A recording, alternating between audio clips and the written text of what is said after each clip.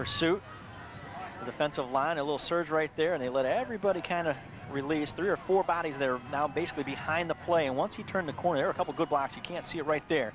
That really sprung him to the outside, and it was just a foot race down the sideline. Again, like I said, caught the Falcons off guard a little bit. So Pavone ready to kick off here. Nate, uh, Nate Hardwick is back deep to see the end of the touchdown there. As diving effort there is for naught there by Kyle Volk. Spread that secondary out a little bit, ran a couple receivers to the right side, and then dumped it out to the left side. Short kick against the wind, and this is taken close to the 28-yard line. That was Volk number. Certainly knocked him down and knocked him toward the football, and that is what the official said. It was the contact was initiated because of the Falcons. First and 10, Lake Park from their own 32. Pfeiffer comes in motion here to the near side, and the give is to Minotti. And Minotti dives to the 44-yard line. Uh, first down here for Lake Park. 14-yard gain that time by Minotti.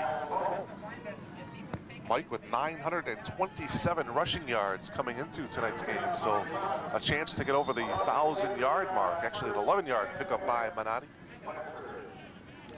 Him and Hochstetter combined for 160 yards on the ground last week in that seven-point victory over Bartlett. First and 10, Lake Park, their own 43. Albin, pass is complete to Hochstetter, breaks a tackle. Now Hardwick wrapping him up at the 44-yard line of Wheaton North. It'll be another first down here for Lake Park. The Lancers continue to spread the field a little bit. See it again. Play action. Even fake the cameraman out there a little bit.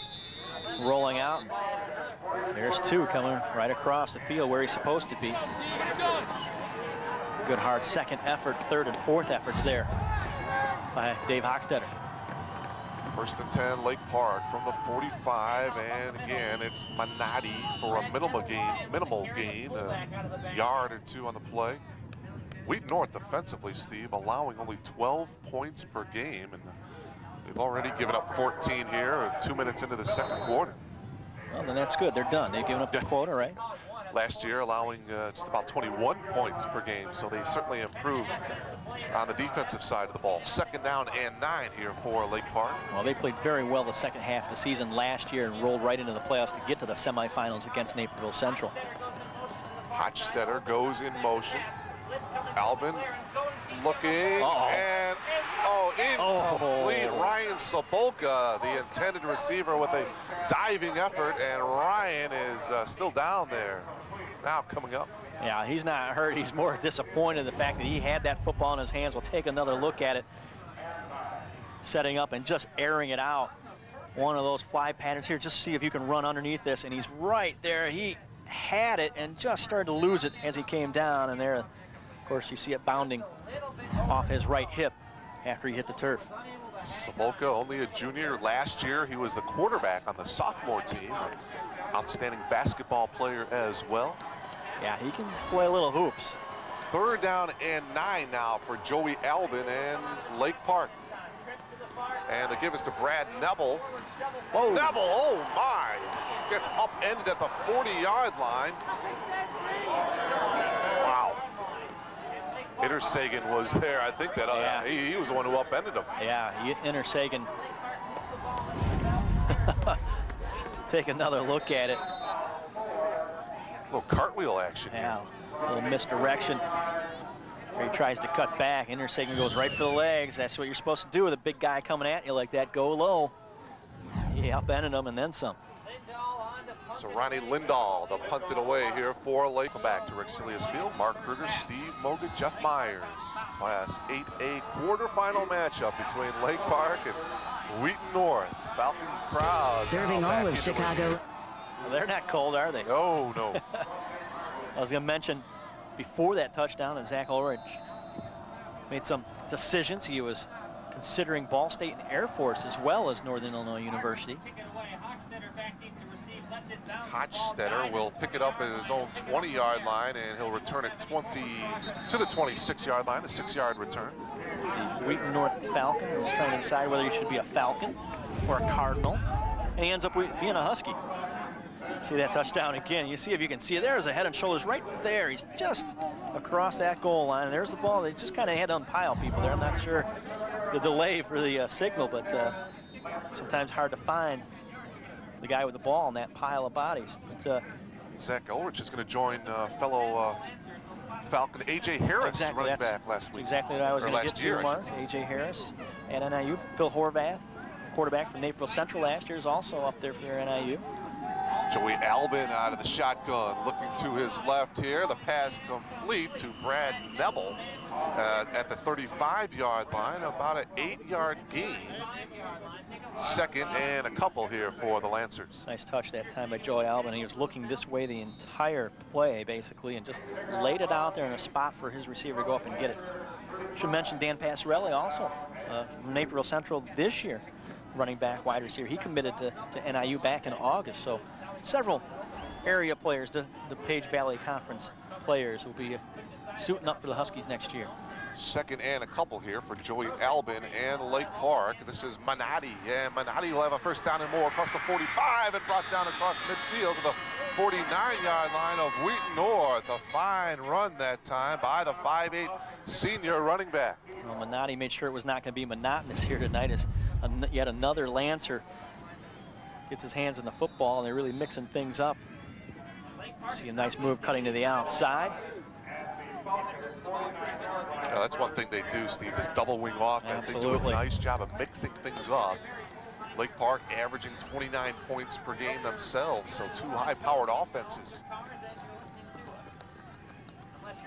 Again, Lake Park out of that double wing, and the give is to Manati once again as he gets to the 45, a gain of about three yards on the play.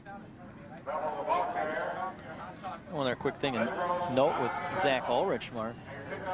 He mentioned, yeah, you're going away to college, but you're still close to home being an NIU, and that was one of the things that helped him make the decision. Obviously, you go to Air Force out in Colorado, uh, beautiful mountains and everything, but you're a long ways from Wheaton. Second and six. The far side to Sabolka is complete as he's inside the 40 to the 38-yard line. It'll be enough for a Lake Park first down, and uh, they'll move the chains here as we come up on the two-minute mark of this first half. Yeah, pretty tough for family and friends to watch it play, and you're a thousand miles away. We'll take another look at that. Against Sabolka, throws it up there where only his man can pretty much get it.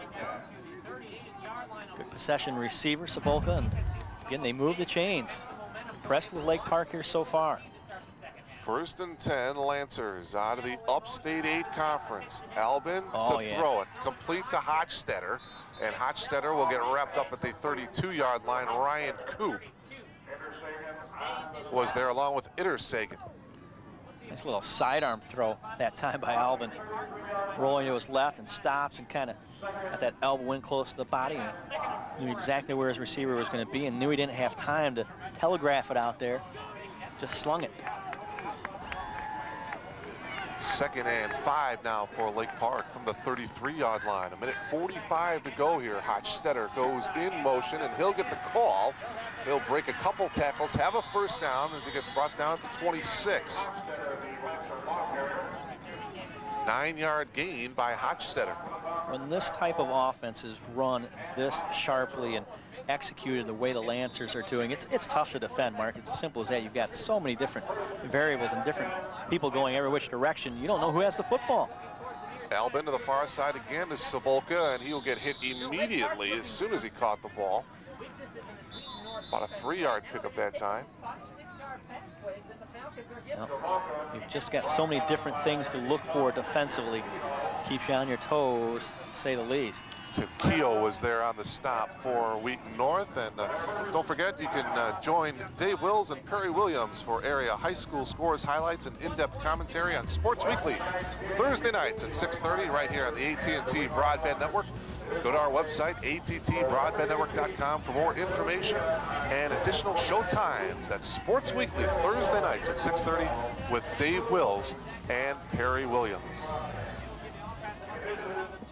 That timeout called by Lake Park with minute 22 to go. They, they want to get in the end zone. And there you see some of the heaters on the sidelines. Both teams pretty much have them out here tonight. Need one of those up here in the press box here, my friend. It'll be second and four. Well, if you got a lot of feathers, you're not going to be cold. Though. Again, the winner of this game will take on the Stevenson Patriots in the 8A semifinals next week. Lake Park wins it, they'll be at home. If Wheaton North wins tonight, they'll have to travel to Lincolnshire next week.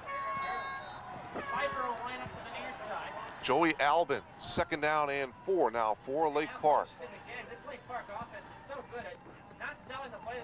And the give is to Manotti, and Manotti gets to the 16-yard line, close to a first down for Lake Park. And a hurry-up offense here. Albin just runs over the sideline, gets the play real quick, comes right back out, and basically just yells out some numbers to his teammates. Third and less than a yard to go here for Lake Park. Albin will keep it himself as he tries to dive for a first down. Svengros was there on the stop for Wheaton North, and it looks like he did pick up the first down, but just barely.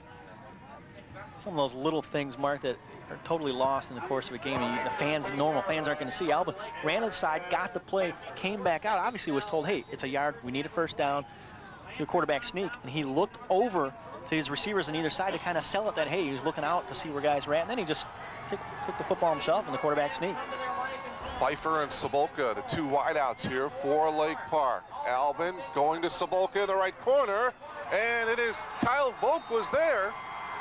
Yep. Picked it off, yes. Kyle Volk, a 6'3 junior. Almost had one earlier, but now he has come up with one. What a great grab by Kyle. He was playing safety valve back there deep. We'll take another look at it. See if you can see him in the upper left-hand corner of your screen. The pump fake, he didn't go for that at all. That's for the cornerback. He's standing back there waiting for the football, and great job. He knew where he was at, kept both feet in bounds. Great grab. But only 34 seconds remaining in the half, so uh, Wheaton North first and 10 from their own 20. The Lake Park Lancers striking early and often, jumped out to the early 14 to nothing lead, but then a nice long sustained drive by Wheaton North with just over four minutes to go. Zach Ulrich, a two-yard keeper. The extra point by Goodchild was good, and that is the all the scoring in this first half. Lake Park 14, Wheaton North 7. And again, the winner of this game will move on.